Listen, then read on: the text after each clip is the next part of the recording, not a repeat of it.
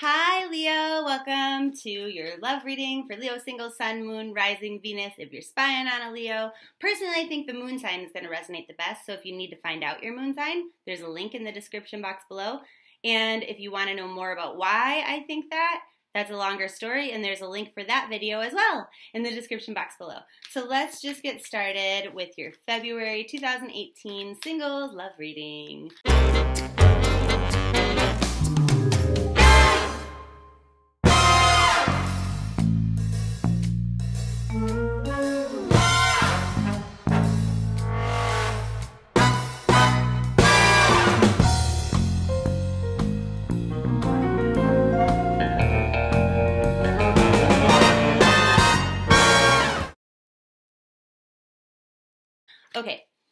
So what's up with you? What's your energy like in February? Ooh, things are going to change quickly overnight for the better. And you are not going to have to go out and figure out how. So that's exciting. So this could be that like somebody just boom shows up in your life you weren't even looking. Okay? Let me give you an example. I wasn't paying attention to anything at all. I was at Target and just like trying to use that cartwheel app, you know, like trying to see if I could get a discount scanning each of my items as I put them on the thing. Some dude shows up and I'm like a wreck, right? My hair is all nasty, like I didn't have any makeup on. I think I'm wearing yoga pants. And um but not the hot kind, like the lazy mom kind because we just came right from swimming lessons. And he asked me, "Are you easily embarrassed?" So I thought he was going to tell me like I've got like a Twix bar stuck to my ass, you know, something like that. And he was just like um you know, just like handed me a card. So I wasn't paying attention. So I don't know if he was handsome or old or young or whatever. But I'm just saying, like, I didn't call him. but but my point is, is that uh, things like that can happen when you least expect it. Boom, overnight, they're your match. You're having a good time. You're like, who knows if you're in love? This is kind of more like a lusty energy, but at least you're getting pounded or doing the pounding in a good way. okay, Sorry, I didn't mean to get nasty there. Um, what are your behavioral patterns in February? So my point is pay attention and like you don't have to go out and do anything, okay? Like someone's just gonna boom show up. But you have to be like paying attention so you receive that. Okay, so what are your behavioral patterns in February that will affect you in regards to like finding the love that you want for better and for worse? That's an interesting combo. Okay, so for better, it's easy. You don't have to go out and find it. but here's the thing is you've experienced a lot of relationships that were totally fucking unfair, okay? Like maybe you gave and gave and gave to relationships and you didn't get back. Or um, you were cheated on, or all this stuff. Like, there's some ishy karma. And so, as a result, like, you have this mindset that relationships are hard work, which is a double edged sword. On the one hand, yeah, that's true. Relationships are hard. And if you're willing to put in the work, then you can have a beautiful relationship if you're with somebody who also wants to put in the work, right? But if you're using that as a defeatist mentality, like relationships are so hard, then you're kind of pushing that overnight boom kind of love energy from coming in for you. So that sucks. So be aware of it, okay? Like if you're in this mindset that like, oh, people don't show up, like she's lying, this reading is bullshit. I mean, that could be the case. It is a general reading. It's not personal to you. Um, but all I love as I said this, it was 333 into the reading, which is a very divine number. So God's like, no, girl, I got your back. Like, this is real. hey, thanks. um, excuse me. I've been sick the last few days, so if my voice is weird, that's why. Sorry. Okay, so anyway, um, yeah, if you're one of these people in the mindset like, oh, well, it, it love's just not going to show up for me. Like those kind of things don't happen to me. Like life's just unfair and blah blah blah. Okay, sure, that's going to be your reality. But the rest of you who are in a more positive mindset and believe that miracles do happen and believe that things like this do happen, uh, gonna happen to you. Okay, so that's where that's that's just where I wanted to leave that. Now, the things that you're doing maybe in um, February, I don't know why I said August. I guess because you're Leo. in my mind I said August, but in February that um, are maybe not to help you so much in your quest to find love is your bluntness, is your complete honesty. So, no, you shouldn't be lying to people, but you might be going out of your way to tell them, like, to overspeak your truth, right? So uh, maybe somebody's interested in you, and you're like, you know what? I just have a lot going on, so it's going to be hard for me to date. Um, that might push them away a little bit. Whereas if you're like, yeah, I'm busy, but I'm going to try to make time for you, that would be better. I mean, it seems obvious, but people do shit like this all the time and, and don't realize how they're self sabotaging. So they're saying, like, um, you kind of sometimes, now, Leos, we want to be adored, right? But sometimes we want to be like the lion that goes out and hunts what we want. So we want to attack it, we want to hunt it, and then we want it to turn around and like lick our paws, okay? Lick our face, all that stuff. Like we want to be adored once we catch you. But so that might be a little bit hard for you that you might be the one that's being pursued. Because typically, when a Leo is pursued, because we're pursued all the time, let's be real, um, because you're so radiant and you always have good hair. Leos always have good hair. I guess I can't say always, but the majority of time. Um, so anyway, when when it comes too easy to us, we often reject it. We're like, this is no fun. There's no there's no hunt, right? There's no like lurking through the the reeds and like pouncing. It, it sucks the fun out of it. And so when somebody's pursuing you so hard, you might have to be real with them and be like, look, you're making this a little too easy. I'm a little bored. Um, they say like make sure that you're taking care of yourself a lot this month because if you don't um, A, you could get sick, but B, like your mood is going to kind of deteriorate. And as your mood drops, you're maybe not attracting all of these good things to your life, right? Like, um, you might be walking around with bitch face and not even know it.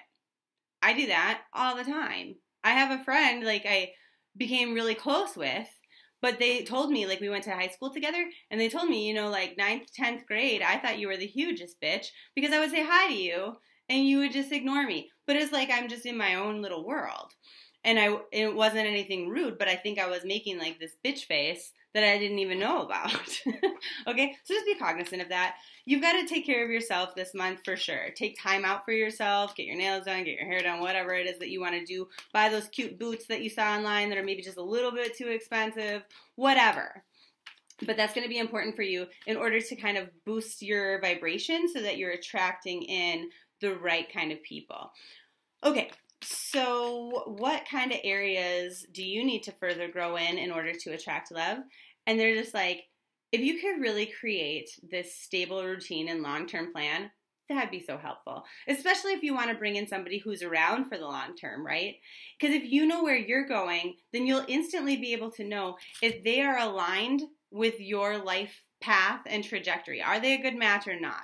You know, maybe you meet somebody and it's lusty and it's passionate and it's exciting, but they have a long term goal of living in Hawaii and you don't want to leave Wisconsin, okay? Like you're, you've already decided you're never leaving Wisconsin. That relationship isn't going to work, obviously. Okay, so things like that. Because as long as soon as you're thinking long term, you're going to align with other people who are thinking long term. And if you want long term lasting love, kind of obvious. Okay, so what is something you need to tweak or change in order to attract love in the month of February? And they're like being really discerning, like understanding when recognizing very quickly when somebody isn't aligned with you for the, your highest good, when they're not good for you. And I mean, that seems obvious, but a lot of us will have a tendency to, like, I see this in personal readings constantly, where it's like, you know what? I think I'm just gonna like stay with this person, even though my intuition is telling me that it's wrong, even though you're telling me that it's wrong, and just like fucking wait it out and see what happens. Because you know what? Things change, people change. Um, okay. Go ahead. But you're going to be wasting time with the wrong person for a long ass time. And, you know, five years down the road, then you're going to be like, oh shit, man. Well, that was dumb okay? And then you're gonna have nobody to beat up but yourself because that was your decision. So when you're thinking longer term, you're more equipped to make these types of decisions and recognize when somebody isn't the right kind of match for you, okay? Like if, if somebody says, I don't want kids. And that's very important for you, okay? You see that on their dating profile or whatever, and you know that that's what you want, okay? Now, the thing is, is sometimes you might meet them, you say, oh, I'll give it a chance. And then you think, you know what, when we fall in love, maybe things will change. Maybe things will be different. Once they're in like a really loving, romantic relationship, they'll decide that they want a child. Okay, well, what if they don't? Okay, and now this relationship is beautiful in so many ways, but that was really important to you, and now you have to get a divorce, even though you deeply love each other, because you needed that and they were very clear that they didn't want it. You have to be discerning. I actually know a couple like this where um, they met online like long ass time ago and it was like a new thing. I don't know what, like 10, 15 years ago. They've been married forever. Um, he didn't want kids. She did want a kid. She went off birth control, got pregnant behind his back, like on purpose. Um, he was like, What the fuck? Why did you do that? I didn't want children. Obviously, when their daughter is born, actually about to go off to college, now um, in the next year or two, they were like, you know, his his tune changed, and he was like, I love her so much. Like I would never want um, a life without her now that she's here. But the fact that he was like, I didn't want kids, this is not where I saw my life going, means that now they're in this relationship where she forever resents him because of the things that he said, like, oh, I don't want a kid. So now she like tries to, even though they stay married for financial reasons, it's super fucked up situation. She um she's like always taking the daughter and like kind of like turning her against the dad. He's just like slaving away at a job, trying to provide, and the relationship is total crap. They haven't had sex in like a decade. It's like the worst do you want to be in a relationship like that? Because if you don't make the decision when you recognize that somebody isn't aligned with you, that they don't want the same things that you do, that they're not for your highest good, you know, bye. Let it go. Let it go. What are you going to try to sit here and change a person for? They're not going to change unless they want to change. And you can't convince them that. That comes from deep within. But we all have this idea that we can control other people or control relationships, and it's fucked up and it's wrong. So, anyway, sorry to get like all emotional and, and noisy about it, but that's important for somebody. it's important for all of us, but somebody really needed to hear it. Okay, so um, what are some things that you need to let go of in order to welcome love into your life in February, Leo? And they're like this feeling that you're always going to be single. Some of you have kind of resigned to that and you're okay with it, which is wonderful. But if you're preferring that you're always going to be single, like if that's the vibe that you're sending out to the universe, the universe isn't preparing someone for you because here's the thing a lot of us are confused about what is it that we want. Okay, who else just had this? I think it was Gemini. There's this like confusion energy, like, okay, well, I kind of like this, I kind of like that, I kind of like this, kind of like that. Like, where should my focus be? Um, and that makes a lot of sense, right? But maybe we need to the I think the reason why we end up in this area of confusion, like what's important to me, is A, because we haven't tried everything yet, right? but B, because um, we're trying to manipulate or control how things come into our life. Okay, like for me, a personal example. Where where'd that girl go? Where are you? So anyway, imagine I'm the Queen of Pentacles. I'm single. I'm sitting here. I'm content with my life. I don't need a man in my life. Like I'm really, really happy. Okay, so then you might I might start overthinking. Like, oh, well, I mean, I like all of these things about a person, but if they came into my life, maybe they would disrupt my harmony. Maybe I would start to feel stressed out that I have to spend time with them when my life is really happy and really good the way that it is right now. Or, like, for example, with religion.